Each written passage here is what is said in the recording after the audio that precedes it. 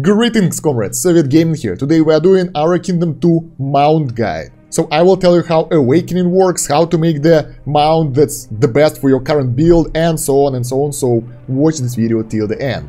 So, okay, let's start with the basics. You have two types of mounts in the game. First one is free-to-play mount. Those are being rewarded to you for free.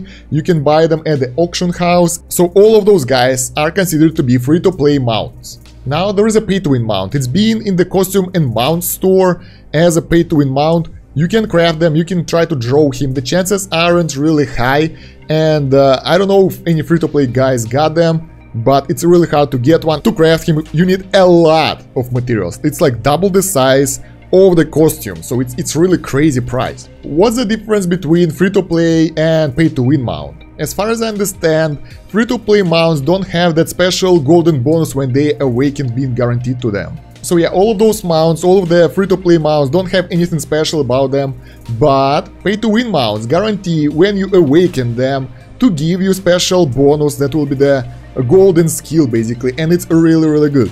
But yeah, as a free-to-play guy, you can't hope for those because the chances are pretty slim. Too bad that they don't disclose the chances, but I think it's like lower than 1%. So there we go, I have this uh, prairie sheep, Plateau Eland, and there is one more mount in my inventory, this unidentified Breather, and it says it gives 40% speed. So I want the 60% one, let's use it and see what we will get.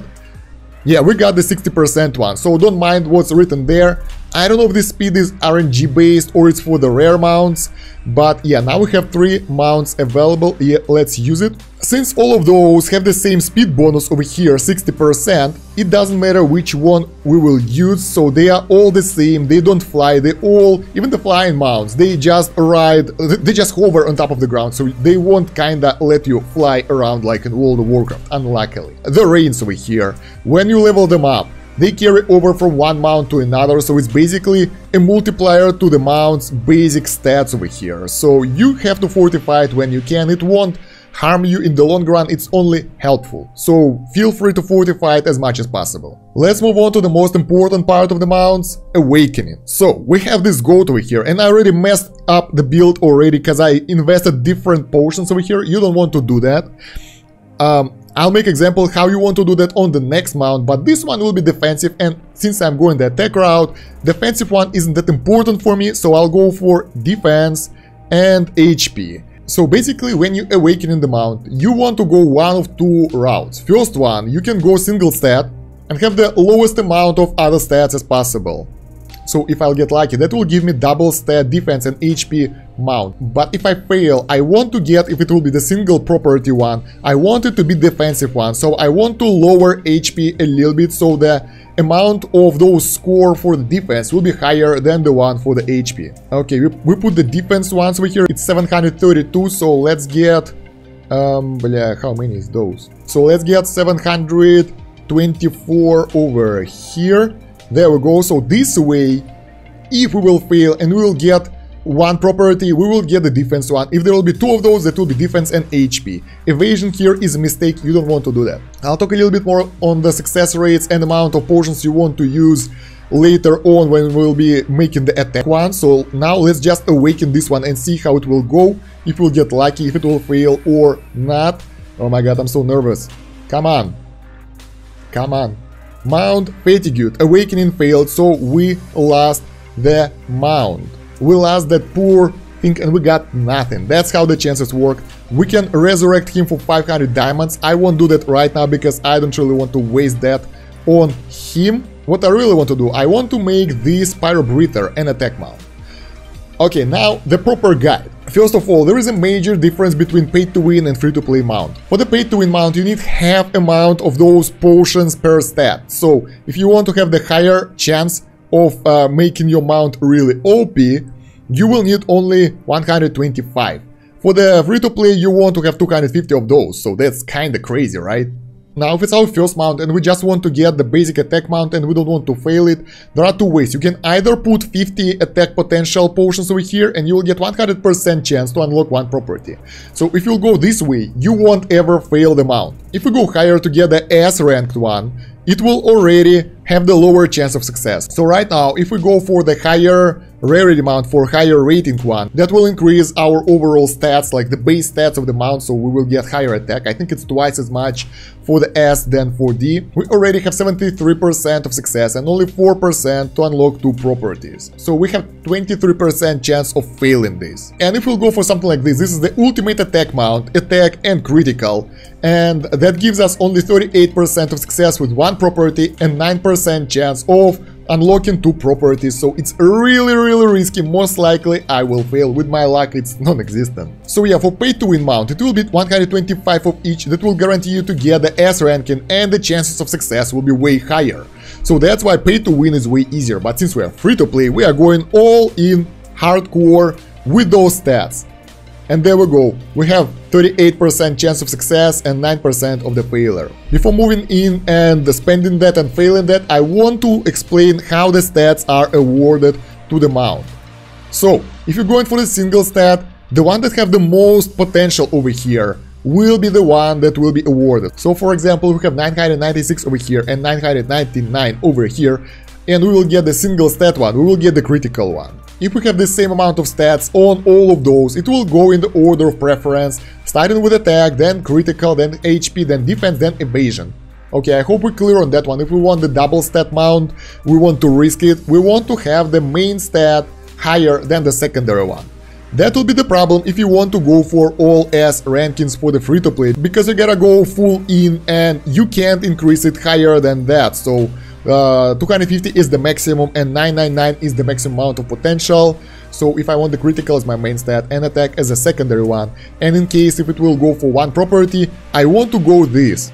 So there is a higher chance of getting the crit potential, but it will get the lower attack potential over here, so we'll get only A attack potential, and that is not really good, so I guess it's either all in or not. So yeah, I will go all in with all the stats and I will hope that I'll get that 9% chance of success or at least get the one property for S attack. Because right now I only have the D attack ranked mount and it's giving me 1.1k attack at this 61 level so S1 will give me 2.2 attack so that's pretty cool. So yeah before I'll do this I won't be able to get back to the screen after that because I'll fail miserably. Yeah for the highest EP basically if you want just the EP you want to go for attack and defense because Defense and attack have the highest amount of EP per stat, but I strongly recommend going for attack and critical for the damage dealers and going for defense HP or evasion HP for the tanks based on their main stats, so basically defense for dragoons and evasion for shinobis and uh, nymphs, so yeah, but I'll go for attack and critical.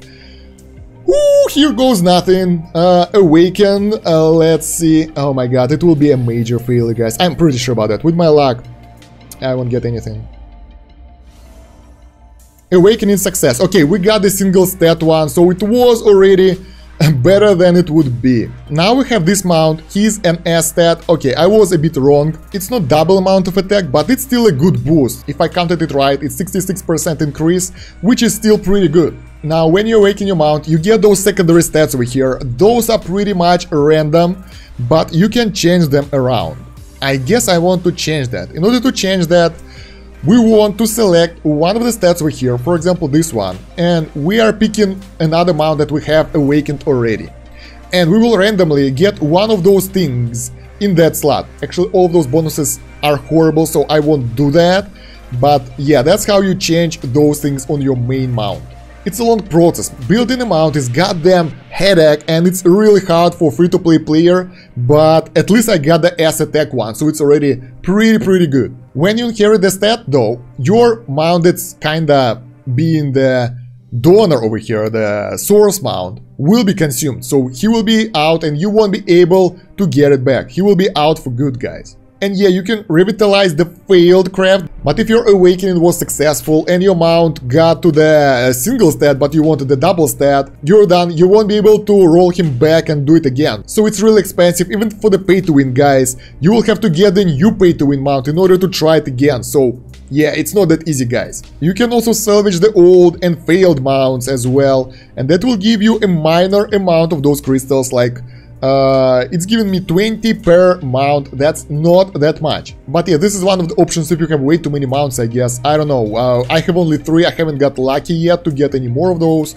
So that's it. Alright, so I think we're done with the mount system over here. Let's talk a little bit about how to get those mounts. There are actually several ways to get them. First one is Guild War. At the end of the season, number one guild will get this uh, Sky River pack and everybody will get uh, Sky River over here. Increased potential to 500 to reach grade S. Hmm, it looks like pay to win mount actually. So this one, I guess, can be properly uh, awakened with lower amount of potions, so that's pretty cool. All other top 10 guilds will get some of the Sky River scales, they are being used to craft one, and the blueprint. I'm not really sure how many scales do we need, but over time you will get that Sky River as well.